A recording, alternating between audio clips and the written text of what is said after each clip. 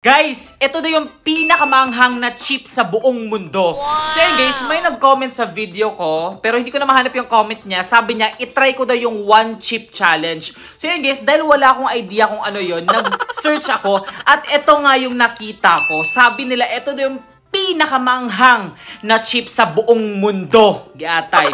So yun guys, ngayon na siya dumating guys, medyo natagalan siya kasi galing tong ibang bansa, galing tong Indonesia.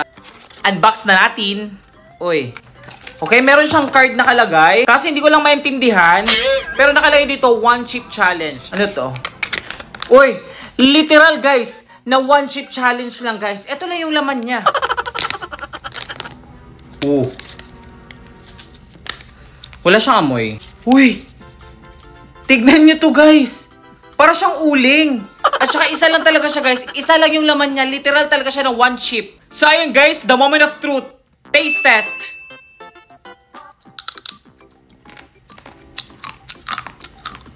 Huh.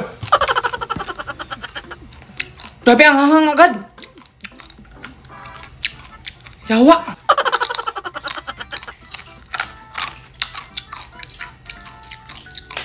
Ah. Ah! Grabe, sumisipa agad siya. Ah! Sobrang anghang. Ah! Kailangan ko ito maubos kasi sobrang mahal nito. Ah. Ah.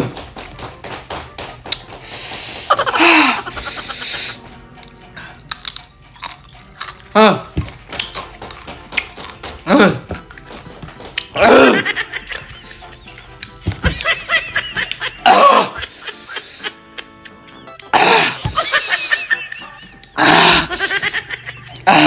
Hindi ko na kaya, guys.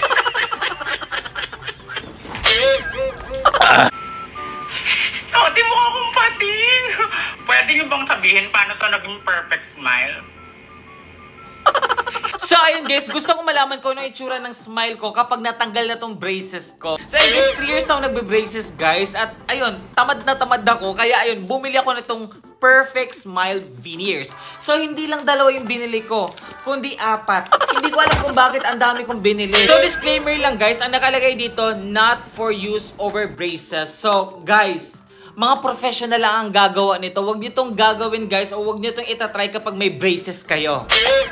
Okay? Bilis lang pala buksan na yan. Okay. May pamanual sila guys. Ito na yung pinakang ipin guys. Ito siguro yung magiging parang glue niya para dumikit siya sa ipin. So may nakalagay naman na instruction dito sa likod. Step 1, place perfect smile in boiling water for 2 minutes. So nagpakulo lang ako na mainit na tubig. Tapos ilagay na natin to dito for 2 minutes. So wait lang natin siya. Now, show off your million dollar smile. Grabe yung claims nila guys. Kaya yun, itatry na natin siya. Ayun. Malambot na nga siya guys. Siguro i-spread lang natin to. So ayun guys, nadikit ko na siya. Ready na siya. Sana hindi ko to pagsisihan. Oo. Let's go. Ready na ba kayo guys? Let's go. Big smile, confidence instantly. Oo, tignan nyo guys. Bakit naman, bakit naman nalabas yung gums ko? Ha? Hindi ko alam kung anong trip nito. Try natin sa baba guys, maglagay tayo.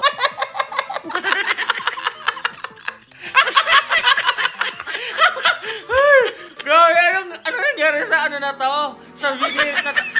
Nakatikim na ba kayo nito? So sa mga hindi nakakalam guys, ang tawag nito ay kalamay. So ayun guys, kapag binuksan mo to, nakakain yung nasa loob niya. Huli kong kain nito guys, ay elementary pa lang ako kasi sobrang hirap nito hanapin. So ayun guys, sobrang excited na itry ito guys kasi saktong-sakto lang guys, kakadating lang din nito fresh from Bohol. Meron pala silang bagong flavor ngayon kasi dati, etong original lang na kalamay. Pero ngayon, meron na silang ube version. Unahin natin tong original. Original na kalamay. Ayun! Ganun lang. Wow! Wow! Tignan nyo guys, ganito lang. So look guys, sobrang daming laman guys, kahit maliit lang yung ano, bagul. Ayan, so ganito lang para makakuha. Iikot-ikot lang natin siya. Ayan. Taste test, let's go! For sure, kung Bisaya ka, nakatilaw na kadani, kasi sikat kay ni siya sa mga Bisaya, guys. Lalo na sa Bohol. In fairness, guys, hindi siya nakakaumay. Sobrang nakakatuwa, guys, oh. Ang daming laman. Pero napansin ko lang, parang lumiit talaga yung bagol niya. Dati, guys, ang laki ng bagol. Ayan. Tapos mas gusto ko siyang ginaganto, guys. Let's go.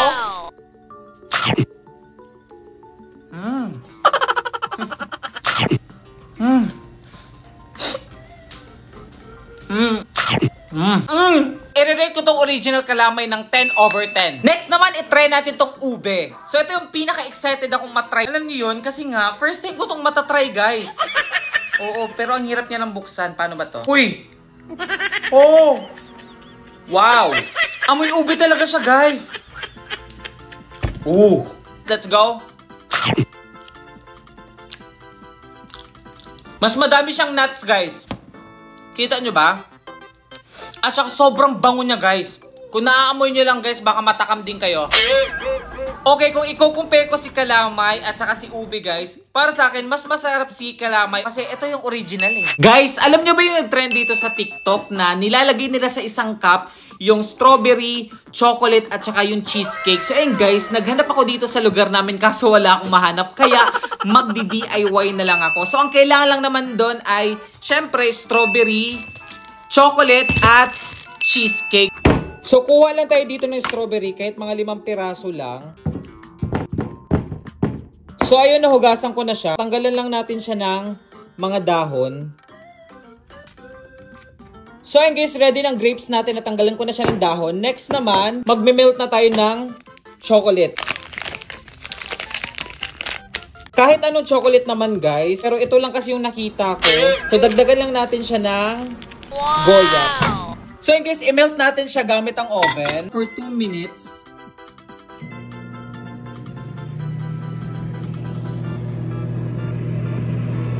So guys, medyo napasobra, nasunog siya, pero okay lang yan. Isasama na natin siya. Okay na pala yung 1 minute and 30 seconds. In fairness guys, nakukuha ko yung consistency niya. So lagyan muna natin siya ng chocolate dito. Ikalat lang natin siya. Tapos next guys, lagyan na natin siya ng cheesecake. Ayan. Tapos next, lagyan na natin siya ng strawberries. So, hinati ko yung ibang strawberry kasi masyadong malalaki. Ililayer pala natin siya, guys, para masaya. Tapos, lagyan ulit natin siya ng cheesecake. Tapos, lagyan lang natin siya ng konting chocolate muna. Ubusin na pala natin tong cheesecake, guys. Ayan, tapos guys, ubusin na natin tong natitirang strawberries. So, ayan na siya, guys. At syempre, ang pang finale, uubusin na natin tong chocolate na minelt natin.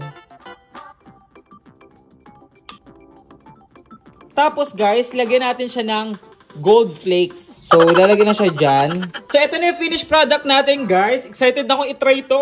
So, ayun guys. Ito na siya, guys. Ito na yung finished product natin. Ayan, mukhang nakuha ko naman siya, guys. Magti-taste test na tayo. Ayan. So, ang tama daw pagkain ito guys is dapat makain mo yung strawberry, chocolate at saka itong cheesecake. So, dapat sabay daw. So, ayun. Medyo excited na ako. Mukhang masarap talaga siya guys. So, ayun guys. Taste test. Let's go! Mm. Wow! Hindi sa pagiging OA guys, pero masarap talaga siya. Another one.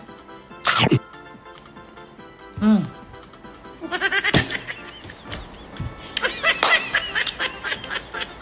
Sobrang sarap niya, guys. Guys, masarap siya, guys.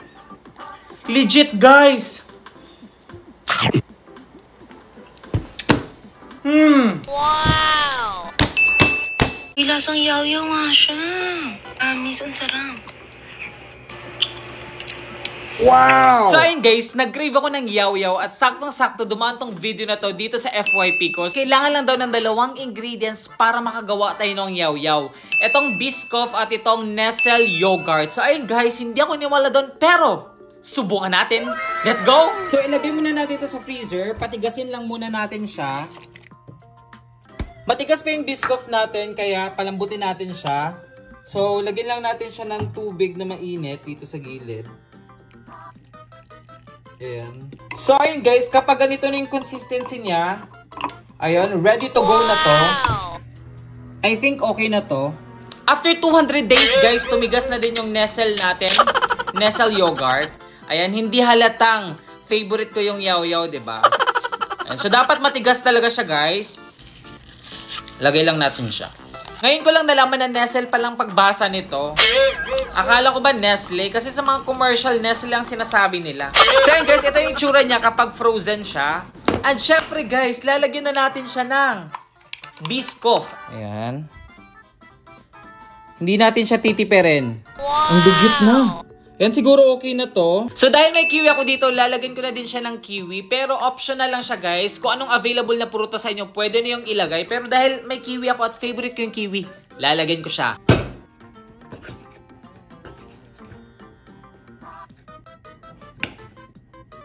Favorite ko kasi ang kiwi guys, kaya hindi siya mawawala dito. So lagyan lang natin siya ng kiwi. Iti-taste test na natin. Oo. Di ba para talaga siyang yaw-yaw, hindi ako makapaniwalang nagawa ko to. So dadamihan ko ng biscoff. So ayun guys, taste test. Let's go! Mm.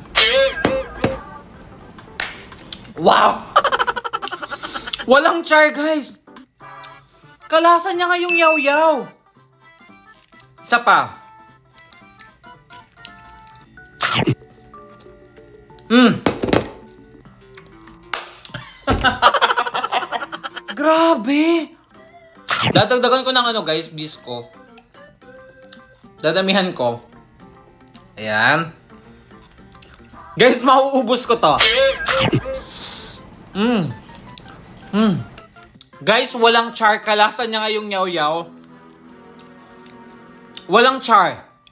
Walang char, guys. Kalasan niya nga yung yaw-yaw.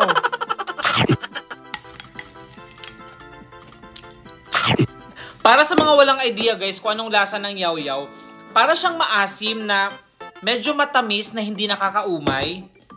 Tapos kapag nilagyan siya ng mga syrup, kagaya ng caramel syrup or di kaya mga chocolate syrup, mas sumasarap siya kasi nababalance yung lasa niya. Wow! Hmm.